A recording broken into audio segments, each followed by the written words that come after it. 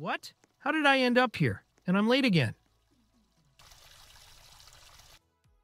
Running late again, Max? Mr. Wilkins won't be happy. Thanks, Mom. I'll explain later.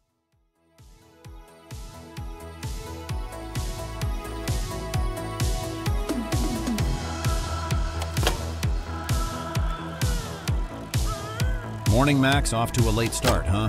Yeah, Mr. Green, guess I hit snooze one too many times.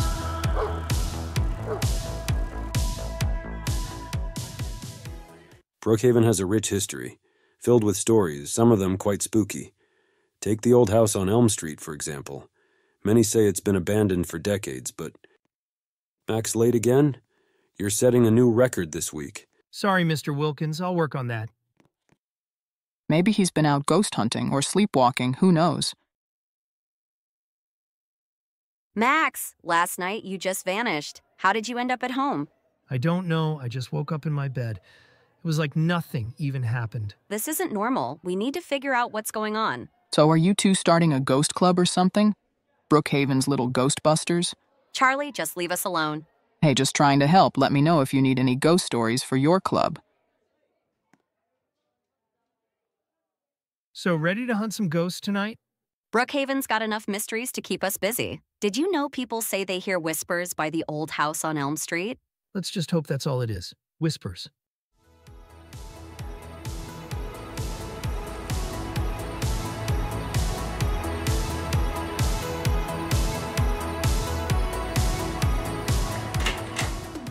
So, tonight's the big bonfire, huh? Are you excited?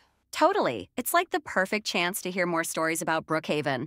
You know, the mysteries, the spooky stuff. Just don't get too carried away, Detective. Remember, they're just stories. Maybe. Or maybe there's more to this town than we think. They say she just disappeared. One night she walked down Elm Street and nobody ever saw her again. But sometimes, if you're quiet, you can still hear her footsteps. That's so creepy. Do you think she's still out there? It's just a stories, right? Seriously? Ghost stories? You guys are acting like we live in some horror movie.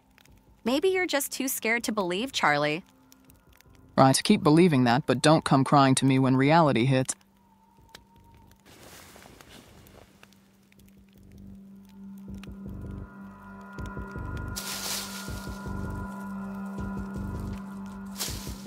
Do you think it's her?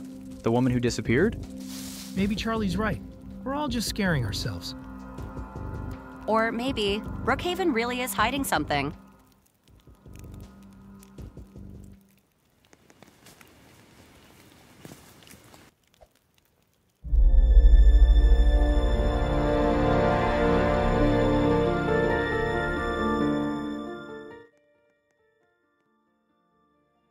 Tonight was just the beginning, Max. I feel like there's so much more to uncover here.